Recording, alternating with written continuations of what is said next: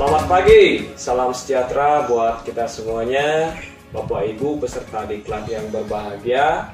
Pada kesempatan ini kami akan menyampaikan materi tentang praktek model pembelajaran. Adapun indikator keberhasilan dari mata diklat ini, yang pertama, kita mengharapkan Bapak Ibu bisa mensimulasikan penerapan model discovery learning. Kemudian yang kedua, kita mengharapkan Bapak Ibu bisa menerapkan model problem based learning. Kemudian yang ketiga, kita mengharapkan Bapak Ibu bisa mensimulasikan penerapan model project based learning. Nah, sebagai tagihan dari mata diklat ini, kita mengharapkan Bapak Ibu memilih salah satu model untuk disimulasikan. Nah, sebagai bahan gambaran, kita mengharapkan Bapak Ibu memilih satu KD Nah, dari KD ini kita pecah dulu menjadi beberapa indikator ya sesuai dengan tuntutan materinya. Kemudian Bapak Ibu pilih indikator yang ingin dicapai hanya untuk satu kali pertemuan saja. Dan berdasarkan indikator yang dipilih ini, kita mengharapkan Bapak Ibu merancang kegiatan pembelajaran untuk mencapai indikator yang disebutkan tadi dengan cara menerapkan sintak-sintak yang ada pada model pembelajaran yang Bapak Ibu pilih. Sebagai salah satu contoh misalkan Bapak Ibu memilih model discovery learning.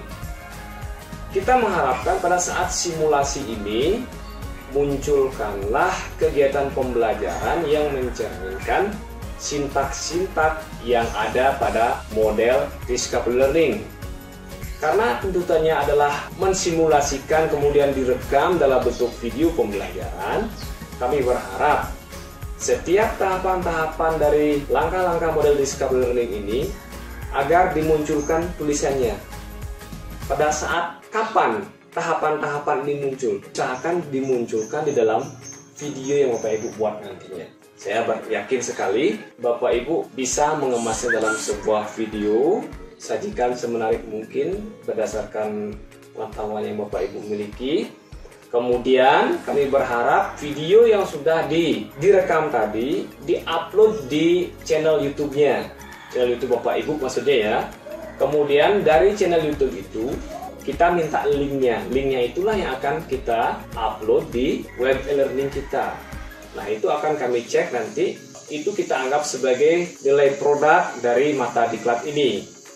Nah, kiranya dari beberapa model yang sudah kami sebutkan, yang sudah kita pelajari bersama ya, yaitu discovery, problem based learning, kemudian project based learning, Bapak Ibu pastinya sudah ada gambaran nih. Kira-kira model mana yang akan disimulasikan nantinya, yang ingin dimunculkan sebagai nilai produknya. Nah, jika sudah, berarti sekarang saatnya lah Bapak Ibu untuk mulai mencicil ya, sehingga pada saatnya nanti kita menagih, kita mengharapkan Bapak Ibu mengumpul tugasnya, Bapak Ibu tidak mengalami kendala atau ada yang terlambat.